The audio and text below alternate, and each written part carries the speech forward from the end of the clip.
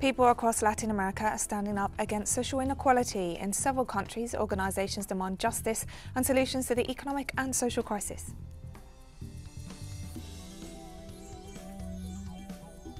On an official visit to Venezuela, the Secretary General of the Organization of the Petroleum Exporting Countries, Mohamed Barkindo, praised the country's central role in the organization.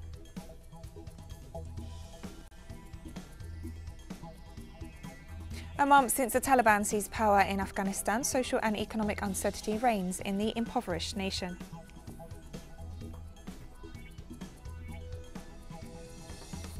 From the headquarters of Telesur English in Havana, Cuba, this is from the South, and I'm Katrina Goss. We start with details regarding several mobilizations in different Latin American countries, in some cases coinciding with the bicentenary of their independence. In Ecuador, roadblocks and protests against the government of Guillermo Lasso took place this Wednesday throughout the country. In the context of this national strike, transport workers cut off the main highways, while the agriculture sector has declared itself in an emergency. The student movement is also protesting against budget cuts and attempts to privatise educational institutions as the latest policies of the Lasso administration. Since Lasso took office on May 24, fuel prices have risen as continuity of the neoliberal policies implemented by former President Lenin Moreno. Those Ecuadorians mobilizing denounced that Lasso has failed to fulfill his campaign promises.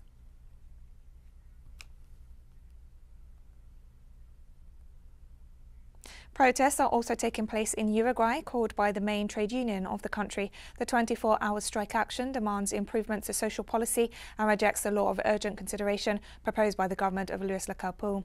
Rural workers, small-scale farmers, the network of community kitchens, students, representatives of the cultural and sports sectors and the trade union movement as a whole are present as part of the mobilisations. Bank and transportation workers have also joined the protests. Among the demands are an increase in the education budget, ensuring school children are fed through school canteens and wage rises for teachers.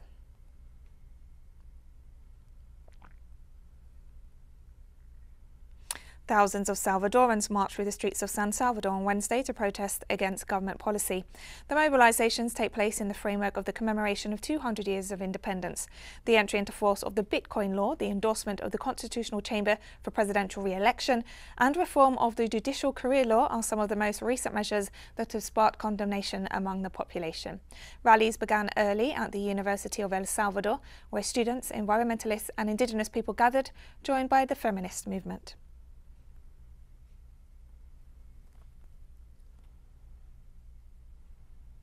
President of Bolivia, Luis Arce, headed a meeting with indigenous representatives in the northeastern department of Beni this Wednesday, who presented proposals for local development to the national government. During the meeting, attended by over 500 representatives of different grassroots organisations, President Arce stressed the importance of providing the necessary support to the country's indigenous peoples with full inclusion and recognition in all governmental policy. He also highlighted the planned programmes and productive projects in the area. Arce called for unity among Indigenous peoples and warned of right-wing attempts to sow division. He also recognised the role of Indigenous peoples in the recovery of Bolivia's democracy following the 2019 coup. Similar events were previously held with Indigenous communities in Santa Cruz, La Paz and Tarija.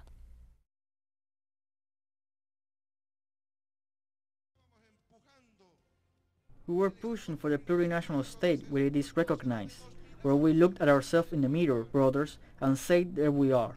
We had been indigenous, we had had indigenous roots, and the national government is now coming to tell you, my brothers, you indigenous peoples of Beni, you are not alone. Here is your national government that will help the brothers. And leader of the Center of Indigenous Peoples of Beni, Guillermo Suarez, expressed satisfaction with the meeting held with President Luis Arce, assuring that it will serve to address local demands. It is the opportunity to be able to talk about our needs from the root of the problem to undermine this possible march that is being made. People who have no organization, who have no relationship with the bases, people who no longer have the spirit of struggle, they do not have to talk to the basis. They are people who only obey patterns in a political issue. So we are presenting our real needs to the president. He is opening a space for us to dialogue with the indigenous people. And we'll be right back after this very short break, so don't go away.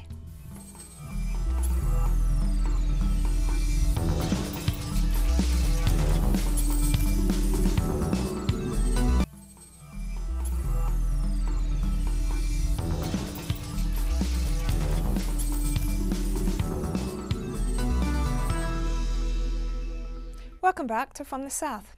On an official visit to Venezuela, the Secretary General of the Organization of the Petroleum Exporting Countries, Mohamed Barkindo, said Venezuela has played a crucial role in the organization's formation and subsequent successes throughout its history. The comments came as OPEC celebrated its 61st anniversary on Tuesday. Venezuela was one of the five founders of the bloc back in 1960 in a move that sought to coordinate the petroleum policies of its member countries and ensure the stabilization of oil markets. As part of the visit, Barkindo met with the Venezuelan Minister of Industry and National Production, Tareck El Aissami. The OPEC Secretary General expressed his sincere gratitude to the Venezuelan government for its contributions to the organization, highlighting its active role in OPEC's responses to the oil market downturn of 2014 to 2016 and the severe oil demand contraction due to the COVID 19 pandemic in 2020. Meanwhile, El Aissami reiterated that despite the United States' unilateral and coercive measures, Venezuela remains committed to OPEC and its member states.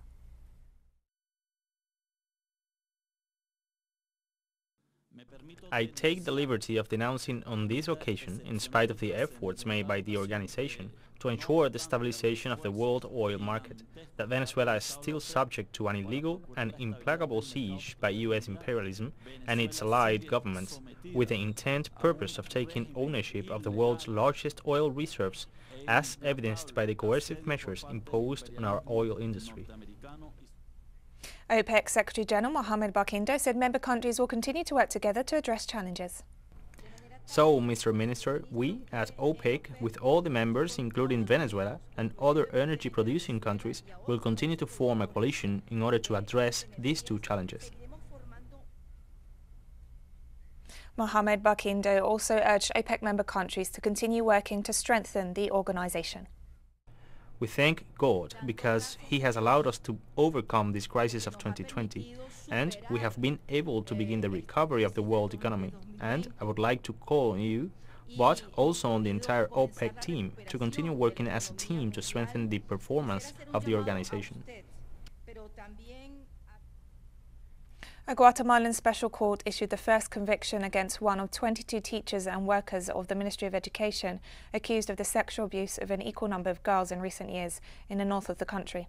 The historic sentence of 27 years in prison for the crimes of rape and sexual assault was handed down to teacher Armando Filiberto Baides Juarez for having sexually abused an indigenous girl when she was aged between 12 and 14 years old. Baides Juarez is the first of 22 public system teachers accused of sexual abuse of 22 indigenous girls, all of whom are represented by a special human rights law firm which adopts a feminist approach. Their lawyer stressed that the conviction represented hope for the victims and that schools should be a safe space for all children.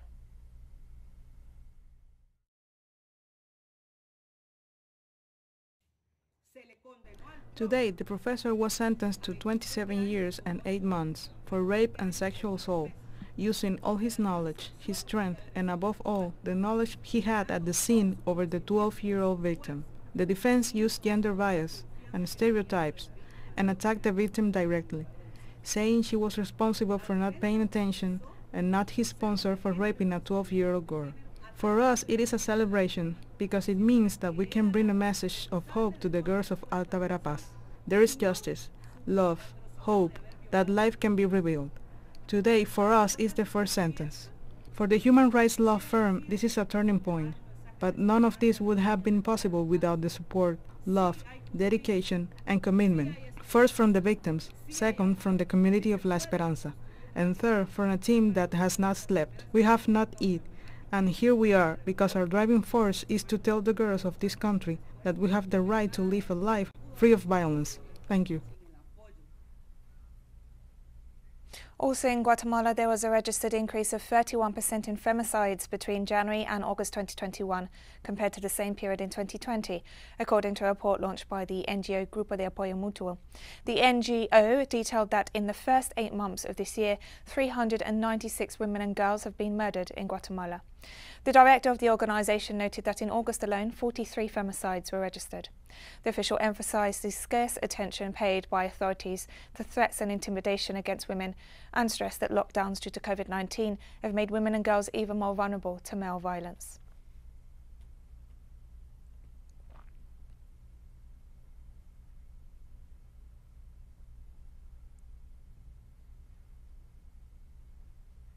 On Tuesday, members of the Chilean Constitutional Convention celebrated the approval of several fundamental texts as part of the process to rewrite the country's constitution, which dates back to the Pinochet dictatorship. Convention members approved regulations on ethics, indigenous participation and consultation, human rights, as well as the general regulations for the process. Prior to these votes, the type of quorum that should be applicable for the approval of each article was discussed. The president of the Constitutional Convention, Mapuche indigenous rights activist Elisa Loncon, expressed their satisfaction on securing the approval of the basic working rules and a definition of the quorums and votes necessary for the adoption of articles of the new constitution, as well as the internal texts of the convention.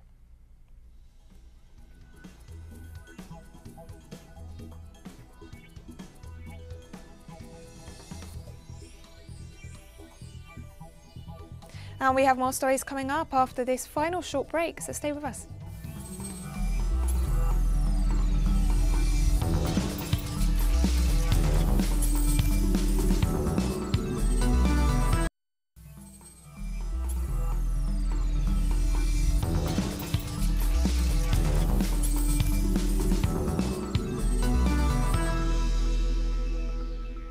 Welcome back to From the South. This Wednesday, September 15th, marks one month since the Taliban seized power in Afghanistan. A lot has changed since the Taliban returned to power after 20 years of war and occupation and the final withdrawal of US and NATO troops. The Afghan economy is in ruins despite hundreds of billions of dollars supposedly invested in development over the past two decades. According to the United Nations, the situation threatens to plunge 97% of the population into poverty by mid 2022. On top of this, the humanitarian crisis due to the displacement of millions of people thanks to the conflict continues. As the international community pledges aid and calls for a more progressive Taliban government, the nations responsible for the crisis refuse to assume their historic responsibility.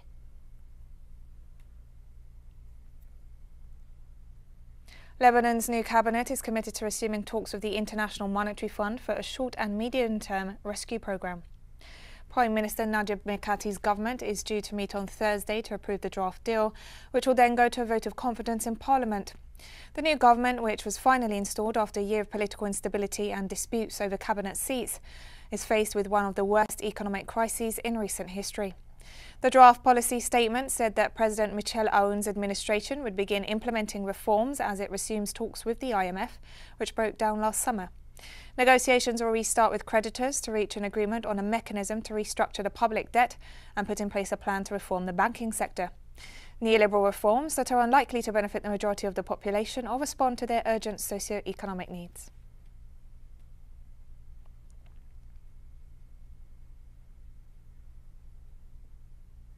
The tensions on the Korean peninsula are escalating after Pyongyang test-fired two ballistic missiles. Seoul, in apparent response, launched a ballistic missile from a submarine. With South Korea's successful submarine launch, the nation became the seventh country in the world with the advanced technology, raising the prospect of a regional arms race. The test, supervised by President Moon Jae-in, came hours after the Democratic People's Republic of Korea conducted its tests and as China's foreign minister visited Seoul. South Korean authorities said the missile was fired underwater from its newly commissioned submarine and flew the planned distance before hitting its target.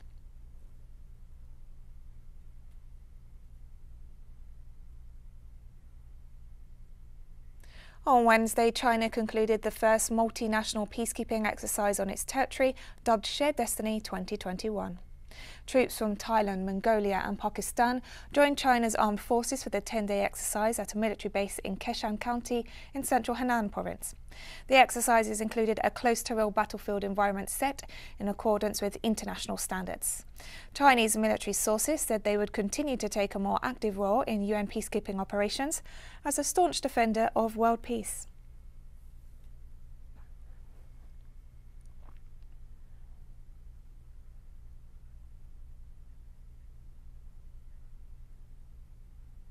A small cargo plane with three crew members on board crashed into a mountain in Indonesia's jungle-clad Papua region on Wednesday.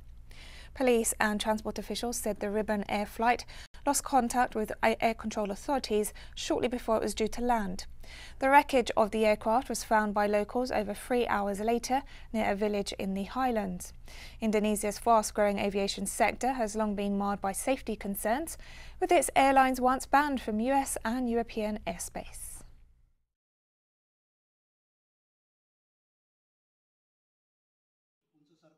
As informed by our Operation Division, we have established a joint team with the police and the military to perform trekking or reaching the site via land to try to evacuate the crews. We hope everything can go well and safely.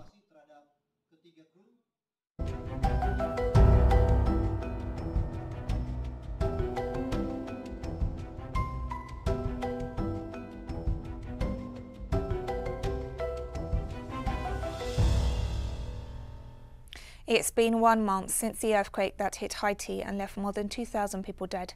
Our correspondent Daisy Toussaint brings us more details on the recovery efforts. Just a month ago, a 7.2 magnitude earthquake on the Richter scale shook southwestern Haiti, bringing the terror back to a nation historically battered by such events. The house fell down completely. When I arrived home, I had no place to sleep because the house had already fallen down. Aid arrived from countries such as Venezuela, Mexico, Cuba, the Dominican Republic, among other nations. But the lack of support from the local government and the indifference on certain international organizations have been felt, as the people try to survive in the midst of the chaos. I went to the father's house for the baptism. At 7.30, we went out to the street and the earthquake happened. When we were in the middle of the street and my wife died and I was under the wall at the same time. I don't have anything in my upper body, but my waist is destroyed. I broke my leg and left seven children outside. My house fell down. That earthquake was not an isolated misfortune.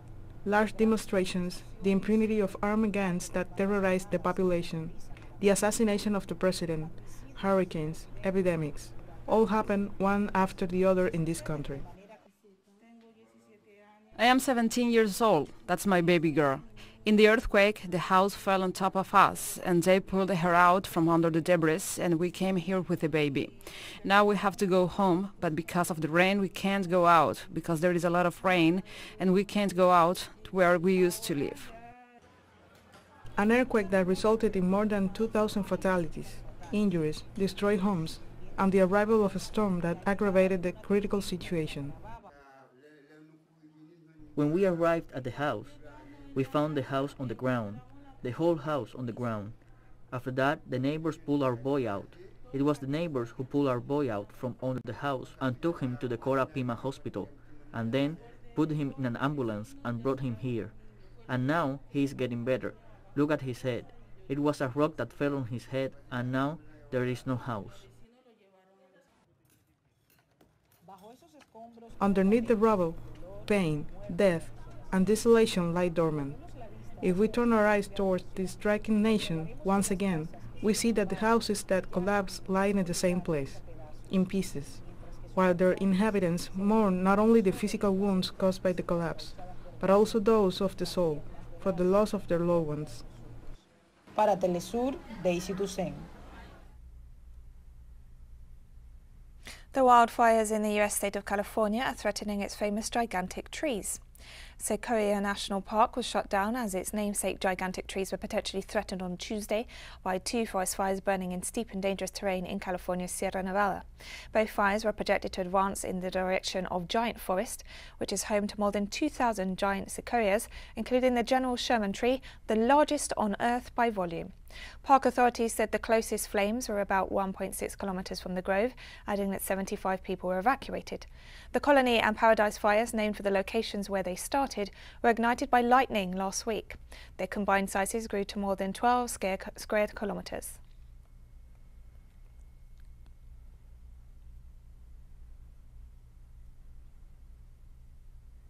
During his visit to the National Renewable Energy Lab in the state of Colorado, President Joe Biden called for investment to tackle the impact of climate change and extreme weather events in the United States. Extreme weather, is we're seeing, is only going to come more frequently and with more ferocity. And we're blinking code red as a nation, and we really are. The only debate is around what we do to confront this crisis. And that shouldn't even be a debate. You know, we have to invest in being more resilient uh, because of the impacts of climate. The climate change is current today, not next year, not 10 years from now. we have to make the investments that are going to slow our contributions to climate change today, not tomorrow. And here's the good news. Something that is caused by humans can be solved by humans. And we've come to the end of this news brief. Remember, you can find these and many other stories on our website at telesurenglish.net. You can also follow us on social media for all the latest news. We're on Facebook, Twitter, Instagram, and Telegram. For Telesur English, I'm Katrina Goss. Thank you for watching.